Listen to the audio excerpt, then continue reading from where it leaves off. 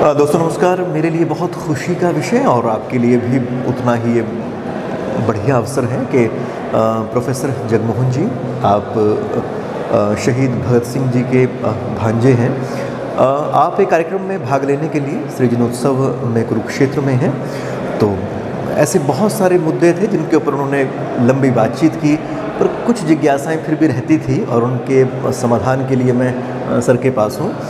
तो आइए उनको स्वागत करते हैं। सर वेलकम आपको स्वागत है। एक तो आपने जो अंदर बातचीत के दौरान अपनी कहा आपने भगत सिंह को गांधी को एक इक्वल फुटिंग दी है आपने। उनको जोड़ा है। आमतौर पे जो लोग हैं इनको एक दूसरे के विरोधी के रूप में पेश करते हैं। तो ये जो विरोध है वो क्यों एक तरह से ये ट्रेंड बन गया है कि उनको विरोधी के रूप में पेश किया जाए? कि मैं समझता कि जिस फ़ेज़ में भगत सिंह की कुर्बानी और वो एक फ़ेज़ है जब कांग्रेस एक दुचित्ती में थी। ओके। और भगत सिंह ने जैसे कहा कि मैं हम नौजवान जो हैं हम इस ब्रॉडर नेशनल मूवमेंट के अगवा उसको एक नई डायरेक्शन देंगे। इसीलिए जब उन्होंने पार्लियामेंट में खड़े होकर अपना बयान दिया उन्होंने कहा था कि आप यहाँ टाइम वेस्ट क्यों कर रहे हैं? लोगों को जाइए और वहाँ जाके तैयार करिए उनको आने वाले वक्त के लिए। गांधी जी ने छः महीने बाद वही बात कही। कि हम बाईकाट करें क्योंकि उस वक्त तक गांधी जी शायद इसलिए कि वो नाराज़ नहीं करना चाहते थे लेकिन वो। तो मैं ये समझता हूँ कि वो पीरियड जो है उसमें पूरकता है। ओके। गांधी जी जहाँ छोड़ रहे हैं या जहाँ वो क्योंकि एज का फ़र्क भी है और उनका स्ट्रेटजी का भी है भगत सिंह उसको पूरा कर रहे हैं। यानी कि एक दूसरे के पूरक पूरक है। हैं पूरक है। अब आप देखिए ना मतलब जो भगत सिंह काम कर रहे हैं हम उनको क्योंकि ब्रिटिश ने वो कहना चाहा बाद में नेशनल मूवमेंट में भी उनको हीरो बनाना था तो बदले की बात की करते रहे। जबकि भगत सिंह समाज बदलने की बात करते हैं। इसी दिल्ली में खड़े होकर उन्होंने कहा था कि लोगों को सामने स्पष्ट ध्येय पता होना चाहिए। अगर उनको ये पता नहीं तो लड़ेंगे क्या? और स्पष्टता है कि समाजवाद ही ना बराबरी का इलाज है। और नौजवान भारत सभा के मैनिफेस्टो में उन्होंने एक पैराग्राफ लिखा हम्म हम्म। कि हम उस स्वराज के लिए काम कर रहे हैं जो 99 परसेंट लोगों के लिए होगा। और 99 परसेंट लोगों की शमूलियत से आए। तो मैं समझता हूँ कि वो जो मतलब है कि गांधी जी भी उस तरफ़ कर रहे हैं। लेकिन उनकी कई बाधाएँ हैं। भगत सिंह उनको मतलब एक नया जैसे संपूर्ण आज़ादी का मता गांधी जी डिले कर रहे थे। ओके। क्योंकि चलो एक साल और देख लेते हैं हमें डोमिनियन स्टेटस मिल जाएगा। तो लास्ट मिनट तक आधी रात को इकतीस दिसंबर को मतलब फिर पास करना पड़ा गया। नेताजी सुभाष कांग्रेस के अंदर से लड़ रहे थे। भगत सिंह ने ऐसा इन्वायरमेंट क्रिएट कर दिया था अपने हड़ताल के बाद क्योंकि उसमें सबसे बड़ी चेंज है वो है कि उनके एक साथी जतन दास जो है वो तिरसठ दिन की भूख हड़ताल शहीद हुए। जी। जब वो लाहौर से चली उनकी मृतक शरीर तो डेढ़ लाख लोग उनके साथ थे। हर जगह पर पंडित नेहरू आधी रात को मतलब गणेश शंकर विद्यार्थी के साथ कानपुर में उनको फूल चढ़ा रहे हैं। दिल्ली में मतलब सब लोग सुबह डेढ़ लाख लोग उनको फूल चढ़ा रहे हैं। कलकत्ता में जब गए अब मुझे वो वीडियो मिली उस वक्त की, सात लाख लोग मतलब जैतन दास के साथ चल रहे हैं। तो पूरा भारत का जो इन्वायरमेंट है वो बदल गांधी जी को, मोतीलाल नेहरू को हटा के, जवाहरलाल नेहरू को कांग्रेस का प्रधान बनाना क्योंकि अभी यूथ का युग आ एक यूथ चाहिए जो उनसे कम्युनिकेट कर सके। तो इसलिए वो जो पूरकता है हम उसको नहीं देखते। तो हम उस पूरकता को ना देख के वो अलग अलग स्थितियों को हाँ, स्वतंत्र रूप से देखते हैं। हम, हम एक दूसरे के खिलाफ खड़ा करेंगे और वो लोग करते हैं जिनके अपनापन जैसे वो एक बीरबल और अकबर की कहानी है छोटी कर दो। तो कहता है कि मैं अगर वो अपने आप को छोटी कर दूँगा मैं बड़ी हो तो अच्छा, एक आपने- लोगों के पास कुछ नहीं है वो उनको नीचे करके अपने आप को ऊपर दिखाना अपने आप को और कम से कम दूसरा नीचे हो जाए पहले वाला ऊपर होता है या नहीं होता वो अलग होता है। अच्छा एक आपने अंदर एक बहुत महत्वपूर्ण विषय को छुआ था कि अंबेडकर और गांधी एक दूसरे के पूरक बनते हैं बहुत सारी जगहों पर जाकर वो एक दूसरे के विरोधी उस तरह से नहीं है। तो ऐसा कौन सा सबसे बड़ा आक्षेप है जो इन दोनों के एक होने के ऊपर सब लोग लगाते हैं और आप उसका खंडन फिर किस तरह से करेंगे? देखिए ऊना पैक्ट को लेके करते हैं। जी।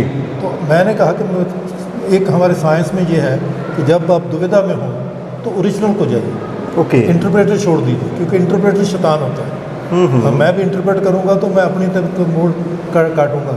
लेकिन आप ओरिजिनल पे जाएँगे तो जब मैंने देखा तो वंडरफुल गांधी जी ये सवाल पैदा कर रहे हैं कि अगर उन्होंने अंग्रेज़ को दे देंगे उनको क्योंकि रिजर्वेशन का जो है गोलमेज कॉन्फ्रेंस पे होगी बात।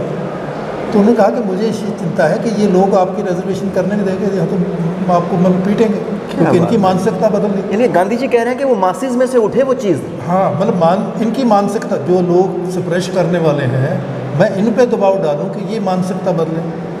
और उनकी जो लगातार बात चल रही है वो यही है कि भाई ये समाज देगा ये और जिस तरह का फ़र्क आप बता रहे हैं ये वो चीज़ है जिसको बड़े आसानी से नज़रअंदाज पता नहीं कैसे लगातार होती रही अब तक।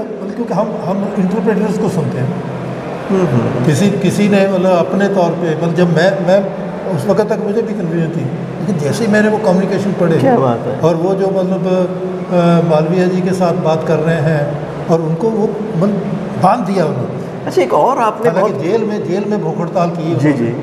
लेकिन वो पूरा समाज जो मतलब और फिर उसके बाद मंदिरों में जाना शुरू हुआ मतलब पानी में हुआ वो सारा बदल दिया। हम्म, तो गांधी गांधी का वो एक अपनी विरासत है। है। हम्म, हम्म, और और मतलब पहले उनको लगता था कि हमें मिल रही चीज़ छीन रहे हैं। इसलिए जो लोग आधा इंटरप्रेट करते हैं वो ये है कि भी अंग्रेज़ दे रहा था गांधी जी से छीन रहे थे। हालाँकि गांधी जी उसको मज़बूत कर रहे थे। और वही चीज़ आपके कॉन्स्टिट्यूशन में आई। कि आप वायदा करिए कि ये ये समाज को बदलेंगे नहीं ये पार्ट उसका और वही भगत सिंह के साथ है। जब गांधी के साथ रेवोल्यूशन की एक डिबेट है तो उसके बाद गांधी जी कहते हैं बिल्कुल ठीक है मैं फेल हुआ। मैंने सोचा था कि शायद नौ महीने में मैं स्वराज ले आऊँगा। लेकिन जो हमारी कमज़ोरियाँ हैं वो नहीं लाने देंगे। और वो कमज़ोरियाँ हैं कि हम धर्म के नाम पर लड़ रहे हैं। जब तक इस कदर लोगों में एकता लाइए। फिर मतलब उसके बाद है कि आप एक तिहाई लोगों को इंसानी हक नहीं दे रहे। तो अछूत का सवाल जब तक आप हल नहीं करेंगे तो कैसे बल स्वराज आएगा यानी कि आपकी जो बातों से मैं समझ पा रहा हूँ सर वो इस तरह की बात है कि जब आज़ादी का मूवमेंट चला तो एक बहुत बड़ा आंदोलन था और सबने अपने अपने हिस्से की उसमें हिस्सेदारी डाली है।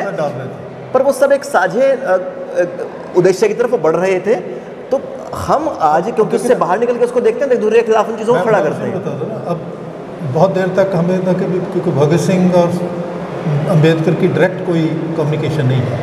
लेकिन जैसे ही पता चला कि भगत सिंह की फांसी के बाद उन्होंने अपने जनता जो अखबार था, उसका एडिटोरियल लिखा। और अगर एडिटोरियल पढ़े तो आपको पता लग जाता है कि कोई, उनको भी कोई अंधेरा नहीं है कि अंग्रेज़ों से मिलेगा वो कहते हैं कि ये तीन लोगों की बलि दी गई है। बलि किस लिए? कि जो कंजर्वेटिव हैं इंग्लैंड के, उनको खुश करने के लिए यहाँ के जो लेबर क्योंकि लेबर गवर्नमेंट थी उन्होंने इन तीनों की बलि दी है।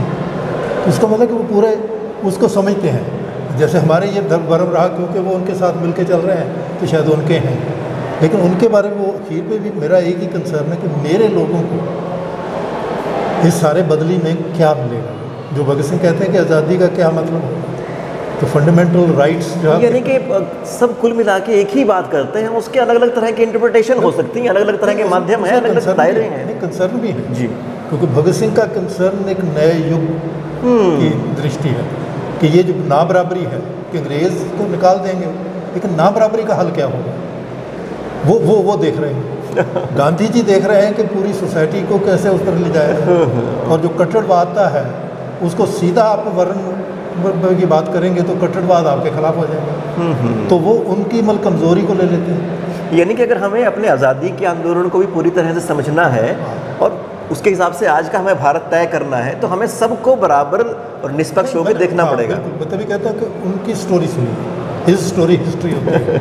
माई स्टोरी मिस्ट्री हो। जाएगी तो हम मिस्ट्री में मतलब अच्छा एक आपने अंदर हालाँकि जलियांवाला बाग हत्याकांड के ऊपर हमने सोमा मनाया और वो याद किया सब बातें हुई पर आपने जो लंगर का ज़िक्र किया उसमें वो तो क्या कहें? मतलब अपने आप में इस तरह का बिंब खड़ा करता है कि आपको पता चलता है कि वास्तव में इस तरह से चल रहा था। वो उनके दो चीज़ें मैं समझ उस वक्त गांधी जी की कंट्रीब्यूशन जो है कि ब्लैक लाज के खिलाफ आवाज़ उठाना नहीं तो हमें लगता था गदर पार्टी के मतलब इतना हो रहा है। गांधी जी क्या बोले कि नहीं बोले?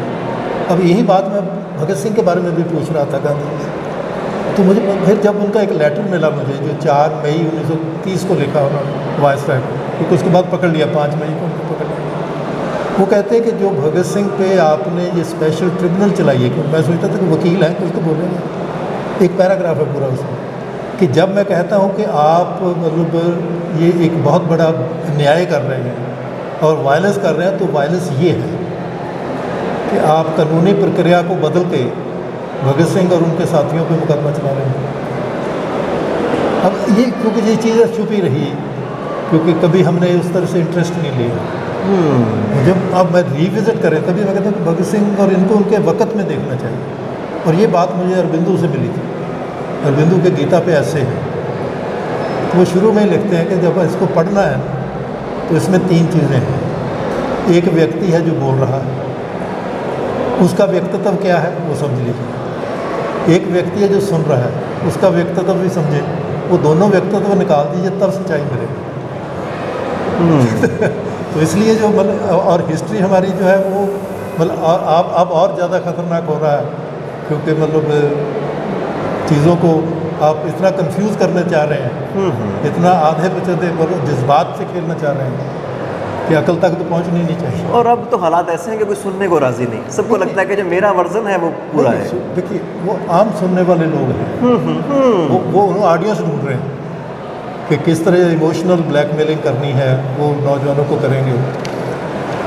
अच्छा एक आपने जो ज़िक्र किया था कांथापुरा का तो आप कहते हैं कि पूरे भारत के अंदर स्वीकार्यता थी उस वक्त ये पैरल है। एक पूरा गाँव जो है वो उजड़ जाता है। वो स्टोर नावल का ये जी। कंतापुरम जो है गाँव का नाम है। हम्म, हम्म। और वो भी कर्नाटका में।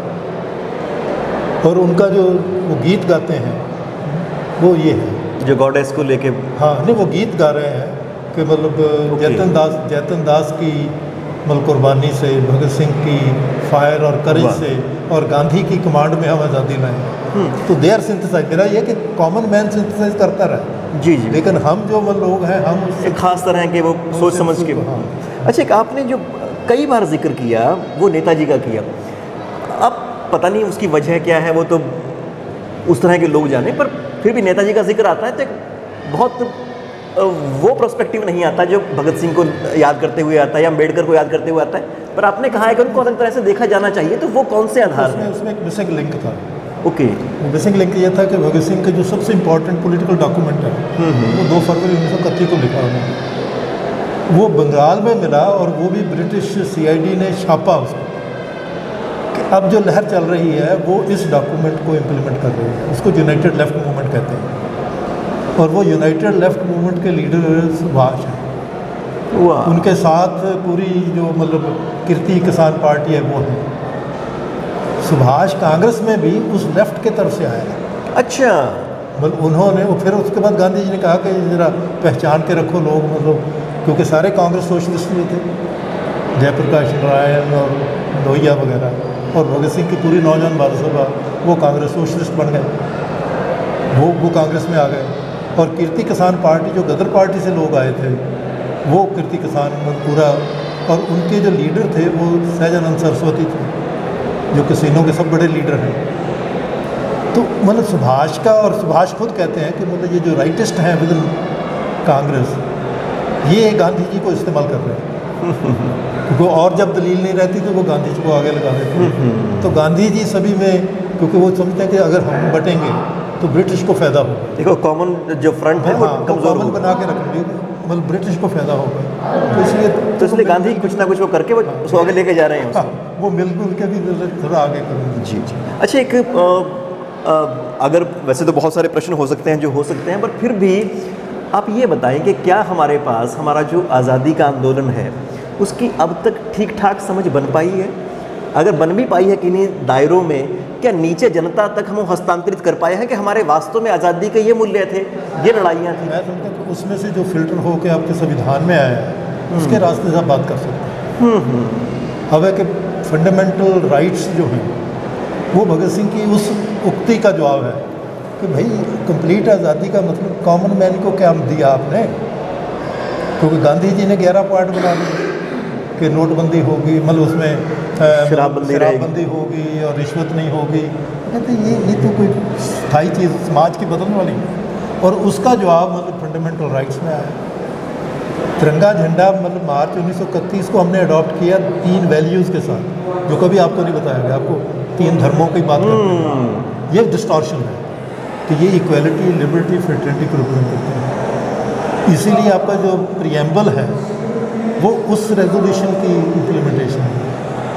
वो उस रेजोल्यूशन की राइट्स की इम्प्लीमेंटेशन है। कि ये तो परमानेंट है। आपने वो अंदर बहुत महत्वपूर्ण एक बात कही थी कि और यहाँ पे भी आपने कही बात वो, शायद भगत सिंह का पूरा जीवन ही उसका उदाहरण है, कि अपनी विवेक का इस्तेमाल करो, अपनी बुद्धि का इस्तेमाल करो, तब चीज़ों को सच और झूठ में फ़र्क देखो।